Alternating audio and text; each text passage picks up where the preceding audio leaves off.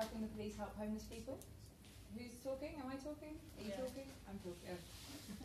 so, um, we this is what you can build in a day, and actually, to be honest, about four hours, right? So I'm quite impressed by this. So we had our question from our friendly police sergeant Lizzie around how we can help the police help homeless people. Um, so the background is police come across many rough sleepers through their work. Indeed, they're actually probably the biggest body of any one agency that come across rough sleepers. Um, they don't have the training, understanding, or resources to deal with them in any way other than prosecuting criminal offences. Um, without wishing to step into a social care role, uh, police officers should be equipped with the information and tools they need in order to provide a better first response to these people.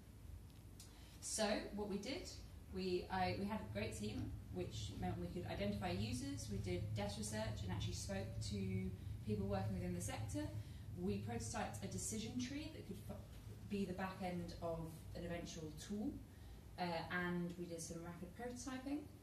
Um, so this is the Trello. There are links to it in all the works. You can see these are things we haven't done yet. That's what we're currently doing, and that's what's done. Um, so in terms of users, we identified uh, police officers within the response team, the sergeant in the response team, designated ward officers, and then other people who you can see are generally from the police. There are secondary users in terms of other agencies and local local authorities, and also we then have to look at the users that are the homeless people themselves. But that was kind of out of scope for this. Let's call it a sprint. Um, so this is Lizzie. This is our main persona that we're working on. So it was great, obviously, to have Lizzie in the room, meaning that she could be. Um, we're not sharing Karen's name publicly, if anyone's confused. Uh, meaning that we could really understand her motivators and pain points and needs.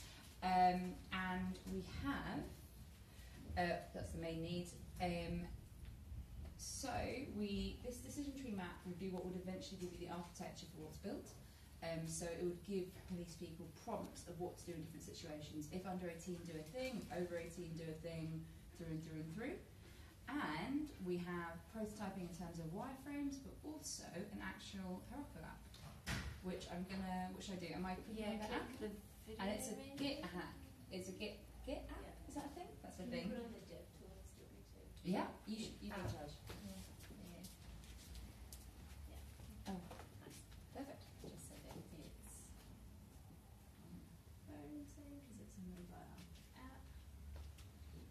Cool. Uh, do you want, yeah, Yeah. perfect. So, uh, for example, if you were dealing with a someone under the age of 18, where life's a bit more simple because they just have to go to social services, to get started, you tell the app that they're under 18. Then, were they during business hours?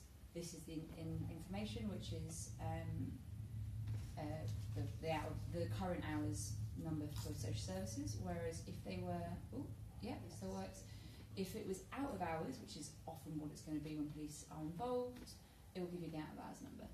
So this again is obviously just a, you know, what the front end could look like as a wireframe, but there, that data does exist, so in theory you could have that pulling in the data per area. And we have a video of someone using it, of Karen using it, which is quite exciting. Um, and that's what it looks like. Yay! Just in case. And no. Excellent. Cool. So yeah, that's kind of where we are. Question mark? Uh, yeah, that is exactly where we are. Yeah. Were there any other slides? Yeah, that's what we've done. Um,